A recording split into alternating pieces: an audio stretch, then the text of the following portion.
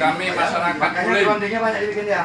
mendeklarasikan Iya, anti-hoax, bonding ini. menolak berita hoax, akses fake, dan isu sara, tidak membuat dan menyebarkan hoax, akses fake, isu sara, mendukung Polri dalam mengusut proses hukum pelaku membuat dan menyebar hoax dan fake, bersama-sama menciptakan ke pilkada damai, aman, dan menjadi pemilih cerdas.